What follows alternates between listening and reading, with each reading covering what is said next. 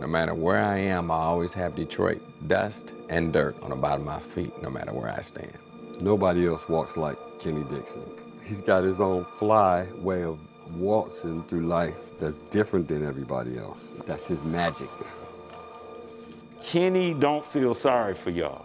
The other DJs, they might try something, and when they see the crowd not have any knowledge of something off of 4-4, they backspin out of it. Kenny ain't gonna do that. He likes to educate people about black culture. He's a teacher more so than a DJ.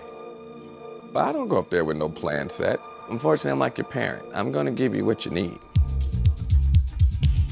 So let's talk about your, your first party that you remember DJing at. My grandfather owned a nightclub. I had the job of DJing and cleaning up at nine years old. This is my grandfather. This is the guy who showed me how to get down and my appreciation for the whole jazz world and scene, even my acknowledgement came from this guy. Hope y'all having a good time. I got into a little trouble and I had to work, I had to get a job. One of my best friends was like, man, come on, work at Right. Kenny probably got a lot of record knowledge just hanging out when the older DJs come in and what they selecting and DJs talk to each other, man, what works, what don't. You either worked at Buy Right, you either had your music distributed at Buy Right, you either produced records at Buy Right, or you bought records from Buy Right. Kenny played the music and the shit was tight, man. It was really good. Only thing was he had so much of it, but you need your own record label. And that's where Mahogani Music came in. This is where Archer Records, home bases. All the original Motown stuff was pressed here. They've been taking care of us local Detroiters for a long time. And this is where all my shit's been pressed uh, since day one.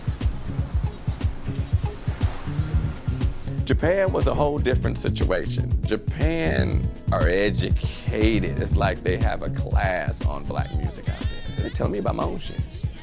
But around the world, it's, it's, it's beautiful enough that even people acknowledge me to even bring me back, which is amazing. But you've got this thing at the moment with New Era, right? So these hats that you're doing right yeah, now, and yeah. so they look good. They're, they're very, they're very you. That's your look.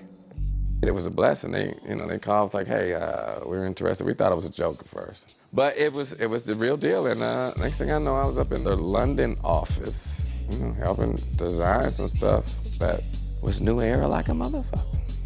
My only demand was that we use the Detroit trademark English D. I just wanted to support my city. Detroit's always been a place that people from there honored and took it to heart, you know, wherever they lived at in the world. They had that Detroit dust always on the bottom of their shoes. We wear that badge of honor very proudly. It's, it's really one of the few things we have, and it made me who I am today.